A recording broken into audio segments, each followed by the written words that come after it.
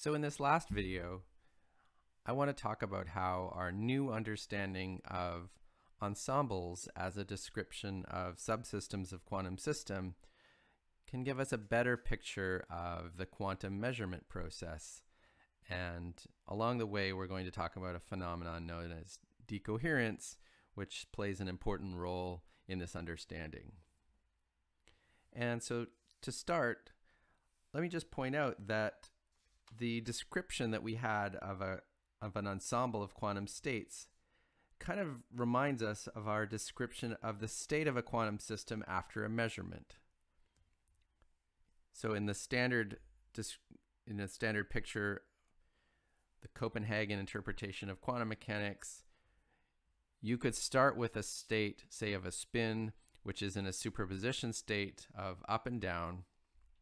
And then we say if we now go and perform a measurement of the z component of the spin for that system, then what's going to happen is that the wave function will collapse and we'll either end up with the, the spin in the up state with some probability one half, or we'll end up with a spin in the down state with probability one half.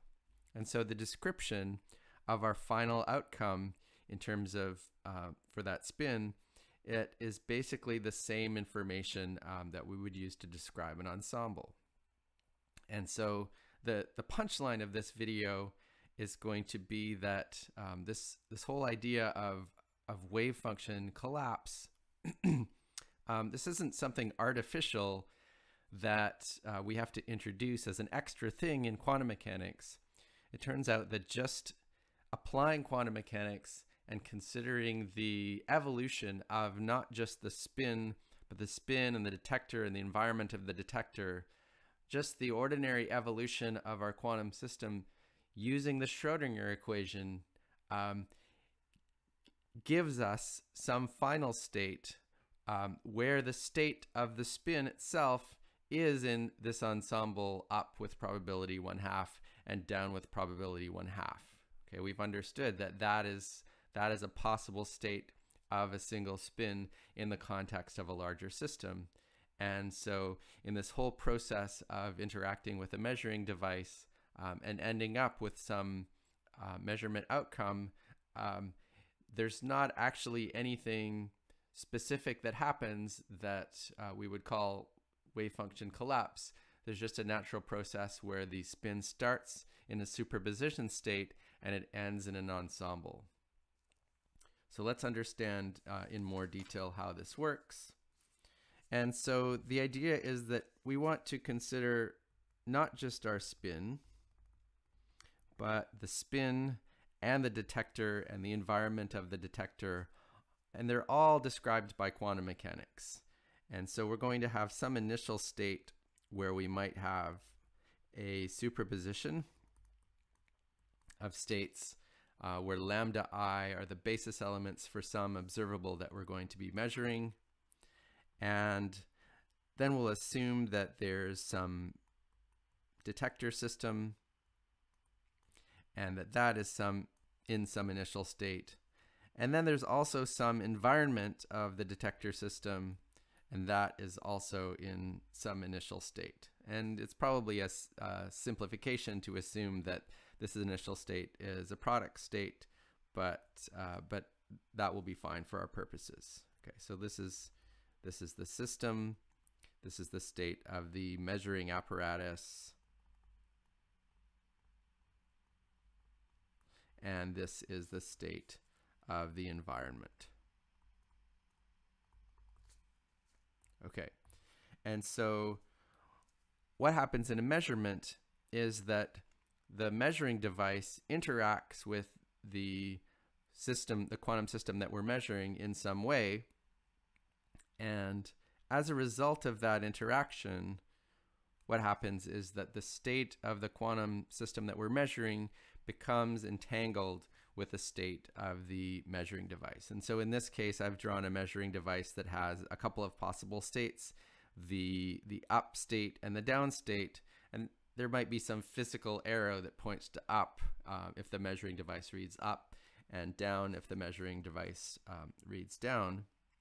And so this initial measurement process is going to be some evolution of the full system where we start with this initial state, but then where after a while the first two parts of the system become entangled. Okay, and again, I'm I'm simplifying here um, to maybe assume that the system, the measuring device, and the um, spin is not very strongly coupled to the environment. And maybe this measuring process happens quickly. And so, just over short time scales, what happens is that the subsystem that we're measuring and the measuring device uh, become entangled with each other. And so, you see that uh, instead of a superposition where the spin is up uh, plus down, now we have a superposition where the spin is up and the measuring device reads up. And then another component of the superposition the spin is down and the measuring device reads down. Okay, and so so the the spin state and the state of the measuring device um, become correlated in this first process.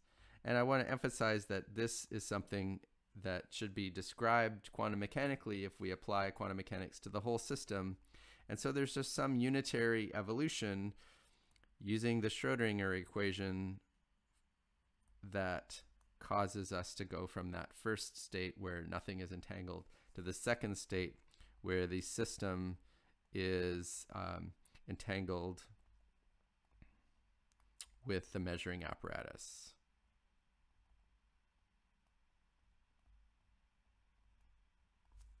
Okay. Um, so so far there's there's nothing about probabilities or ensembles, but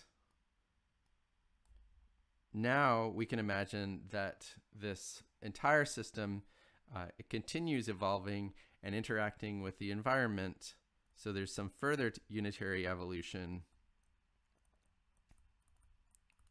Okay, and eventually we expect that the system and the measuring apparatus are going to be entangled with the environment. Oops. And so let's call that final state psi system measuring device environment um,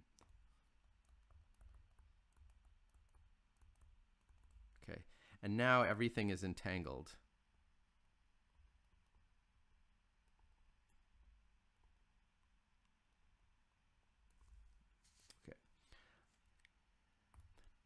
And the idea here is that, well, what if we just ask about the system and the measuring device? So, so we normally don't really care about the environment.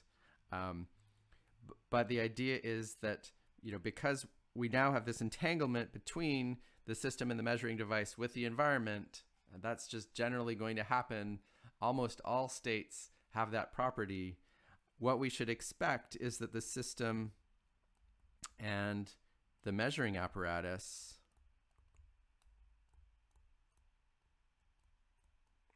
If we just consider that as a subsystem of the full system, well, then what we expect is that that is going to be generally in an ensemble. Okay.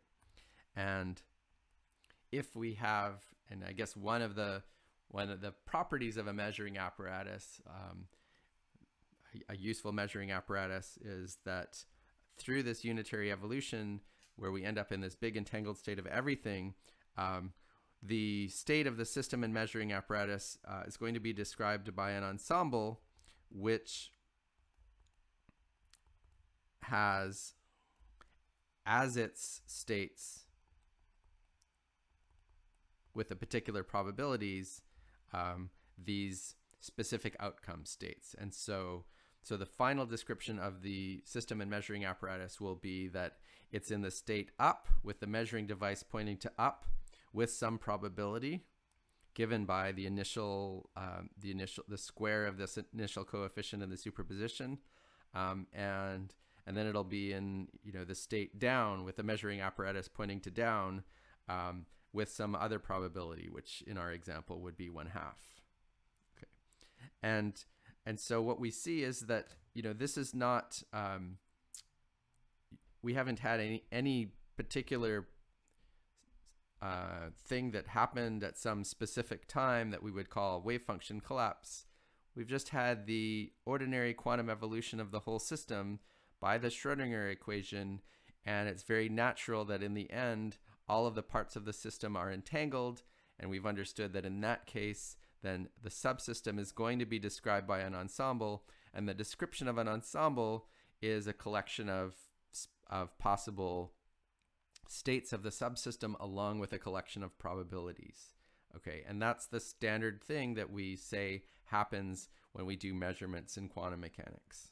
Okay, um, and so this this process where we end up with where we start with a superposition state for our subsystem and for our measuring device, and then we end up with um, an ensemble as the description of our state and our measuring device. So that is the process that's known as decoherence. Okay, so this evolution from from a quantum superposition um, to this ensemble, which is just like a more or less um, classical set of possibilities together with probabilities, um, that's the decoherence process. And so that happens through the interaction with the environment.